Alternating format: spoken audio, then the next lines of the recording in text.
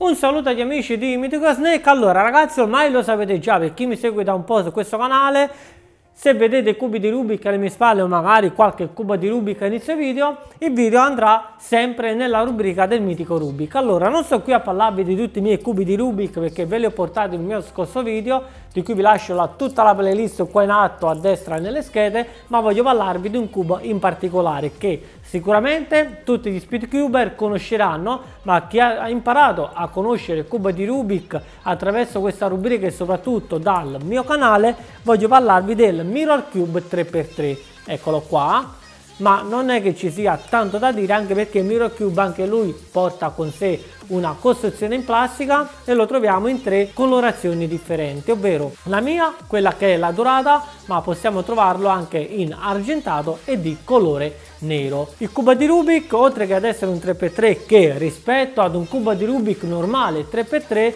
i suoi cubetti sono di varie forme e di varie dimensioni che ad ogni rotazione va a cambiare sempre di più quella che è la sua forma cubica. Quindi da una sua forma cubica assume varie forme. Quindi quindi l'example solve che voglio portarvi di questo cubo di Rubik la risoluzione sta nel portarlo alla sua forma cubica ovvero alla sua forma originale che sarebbe questa qui. Quindi direi di non perdere altro tempo e di andare al banco subito dopo la sigla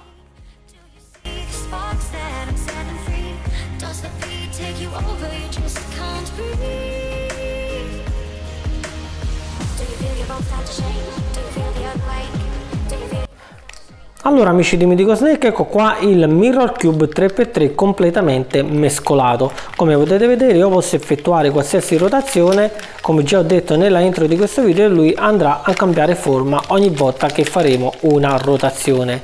E la risoluzione di questo cubo sta nel fatto che dobbiamo portarlo alla sua forma originale ovvero ad una forma cubica ok però nel risolverlo possiamo avvalerci di un qualsiasi metodo. A parte il metodo Friedrich che chi riuscirebbe ad utilizzarlo beh per me è un mito nulla da dire.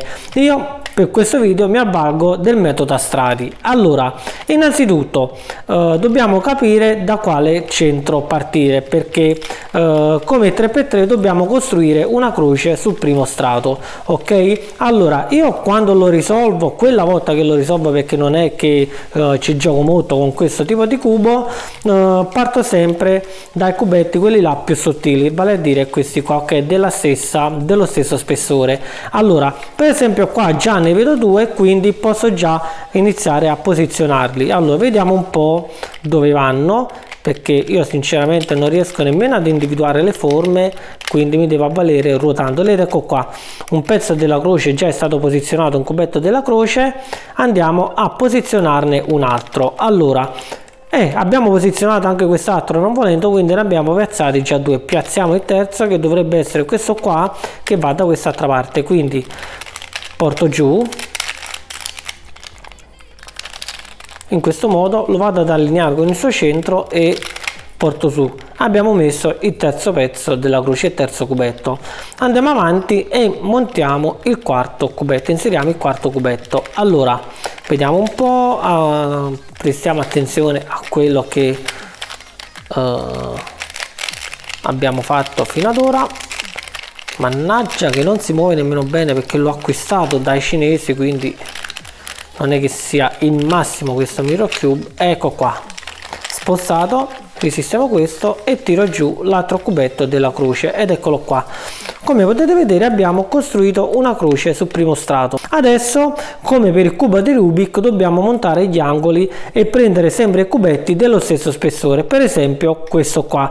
Questo qua che deve andare eh, da quest'altro lato. Quindi lo vado a liberare. Magari lo vado a liberare proprio con questo qua perché deve andare qua in basso. Quindi lo porto sulla sua posizione proprio come facevamo con il cubo di Rubik 3x3 quindi lo libero lo metto in posizione e lo vado ad orientare nel modo giusto. È un po' un casino perché non riesco a muoverlo ed ecco qua. Vedete? Ho sistemato già un angolo adesso nel sistemare questo ho liberato quello che va da quest'altra parte. Quindi eccolo qua lo vado un attimino a prendere e lo vado subito a orientare quindi vado ad utilizzare lo stesso principio che utilizziamo sul 3x3 sia per la croce sia per gli angoli. Manca l'ultimo angolo e lo troviamo da quest'altra parte. Eccolo qua ok? Lo porto sul suo slot di inserimento verso la sua uh, posizione e voilà.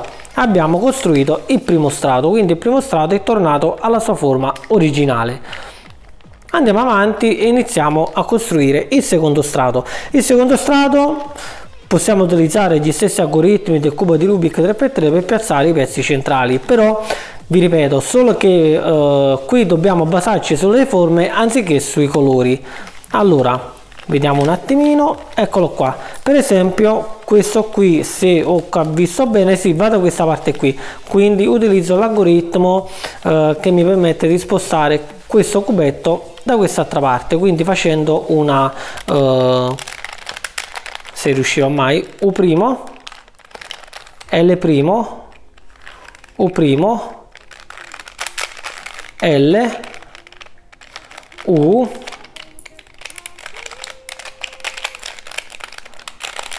se riuscirò F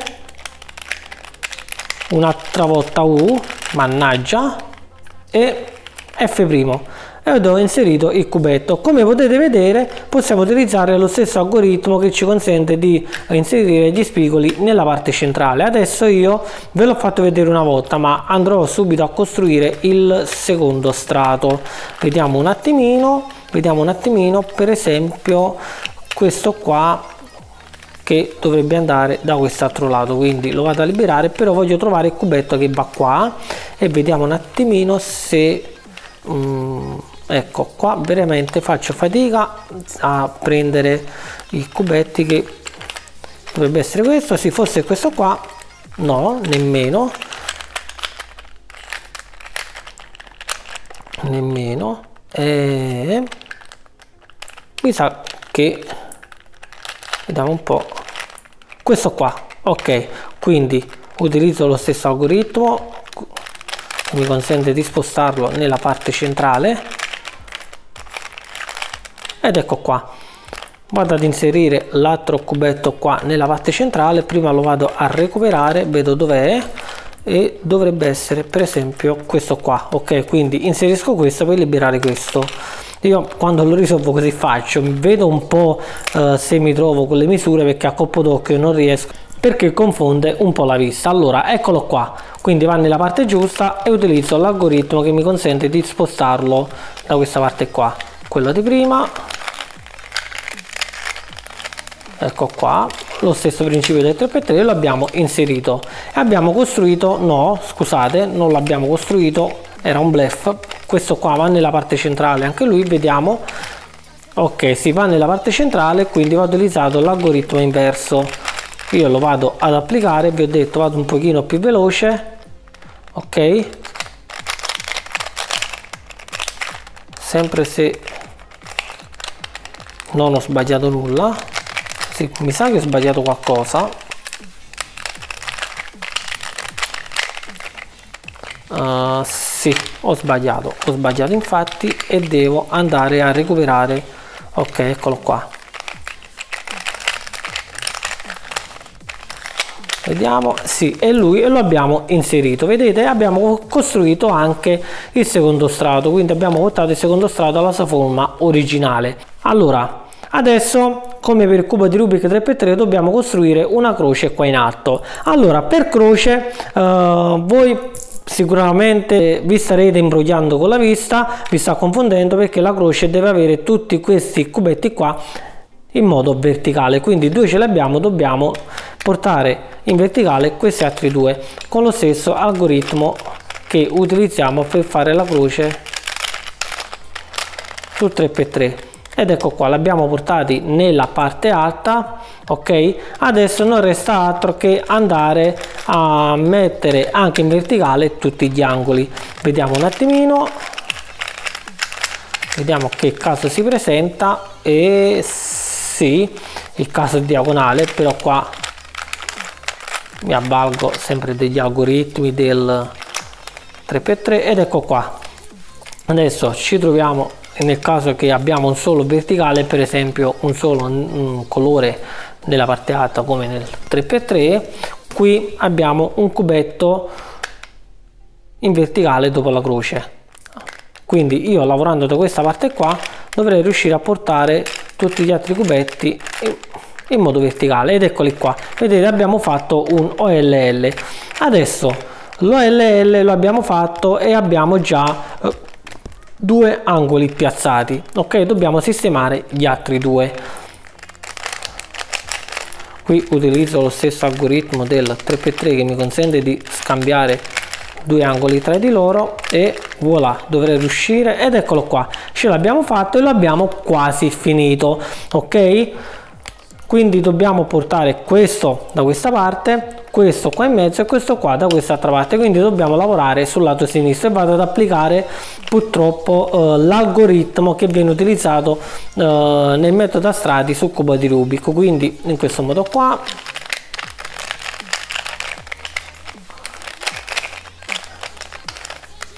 Ok. Adesso lo vado ad utilizzare su questa parte qua. Sperando che ci sia riuscito e sì ce l'abbiamo fatta ce l'abbiamo e l'abbiamo portato alla sua forma originale. Quindi vi ripeto eh, basta eh, prestare eh, un po' di attenzione perché i cubetti del mirror cube possono confondere la vista eh, e magari possiamo piazzare un cubetto anziché un altro. Però principalmente per risolverlo possiamo utilizzare il metodo a strati che abbiamo utilizzato anzi che utilizzavamo o che utilizziamo ancora sul cubo di Rubik 3x3 e questo è Mirror Cube 3x3 portato alla sua forma originale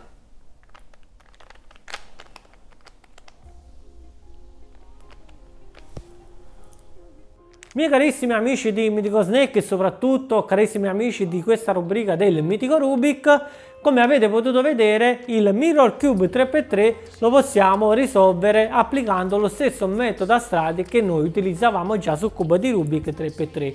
Non dico di utilizzare Friedrich perché come detto nel corso di questo video io sicuramente non riuscirei ad utilizzarlo anche perché non ne conosco tutti gli algoritmi quindi lo sto ancora imparando non lo faccio sempre per via del lavoro ma lo sto ancora imparando beh che dirvi se anche voi volete un cubo di Rubik ovvero il Mirror Cube 3x3 posso lasciarvi il link qua in basso in descrizione per l'acquisto su Amazon perché lo possiamo trovare su Amazon come potete vedere a meno di 10 euro. Quindi tutti i link del caso li trovate qua in basso nella descrizione. Che dirvi questo video io vi ho portato un altro example sob, vi ho parlato un altro cubo di Rubik e se vi è piaciuto vi raccomando fatemi sapere la vostra qua in basso nei commenti, fatemi sapere cosa ne pensate, ma lasciate anche tutti i vostri pollici in su, ma se non l'avete ancora fatto, ve lo ricorda l'animazione, iscrivetevi al canale perché è molto molto importante. Attivate la campanellina delle notifiche per rimanere aggiornati sui miei prossimi video in uscita ma